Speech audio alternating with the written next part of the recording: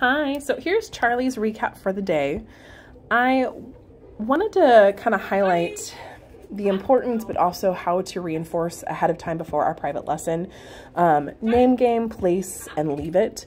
So name game is where he sits right in front of you and we load his name as a trigger. We load his name as I come and I sit in front of you, so it's reinforcing come, but it's also reinforcing leave it and reinforcing focus um, it really puts a lot of emphasis on that right there. He's sitting and he's looking at you. I'm ready to pay attention. So when he's barking at the window, if he's going crazy on a walk using his name, he's learned that when I turn to look at my person, that's a really good thing. It's worth it to break whatever my intention is. Um, we also did place, as you see here. So the place command um, you can stick them on anything. It can be a rock, it can be a placemat, it can be your couch ottoman, it can be a rug.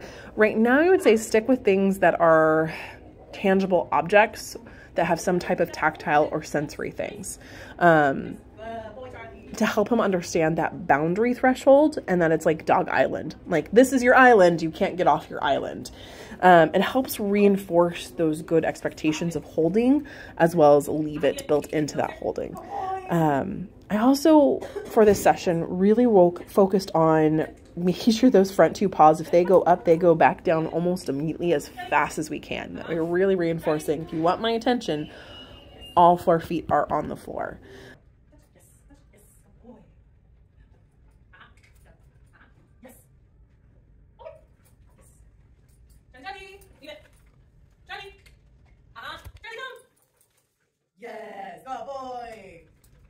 Now right here, I'm letting him get distracted. I'm trying to, because I scatter treats throughout the room, and I'm calling him to me. So this is where, hey, I have to pay attention for that name recall after we've done a couple of other skills. Um, now here we're working on some jumping. And the jumping is, can I be excited? And can I put those four feet on the ground? That it's not worth it to him to jump.